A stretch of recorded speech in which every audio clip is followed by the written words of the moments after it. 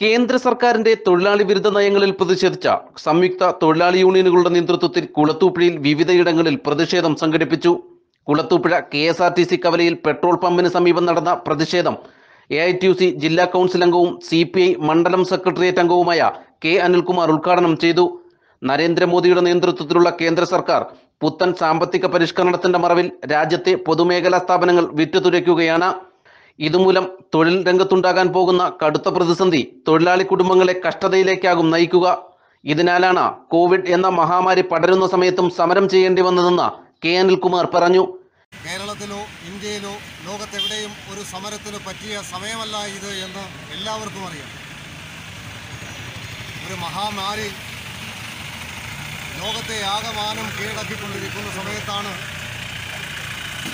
ഒരു സമരം നടത്താൻ ഇന്ത്യയിലെ തൊഴിലാളികളെ പ്രേരിപ്പിക്കുന്നു.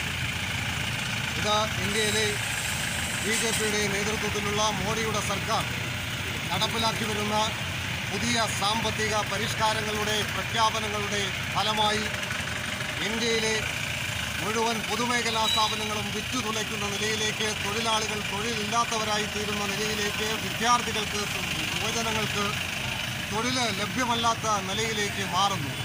ഈ സാഹചര്യ സാഹചര്യത്തിൽ സമരമല്ലാതെ മറ്റൊരു മാർഗവും ഇന്ത്യൻ ജനതയുടെ മുമ്പിലില്ല എന്ന സാഹചര്യത്തിലാണ് തൊഴിലാളികൾ സമരത്തിന്റെ മുന്നു മുന്നൊരുക്കം എന്ന നിലയിൽ ഇങ്ങനെ ഒരു സമരത്തിന് ആഹ്വാനം ചെയ്തിട്ടുള്ളത്.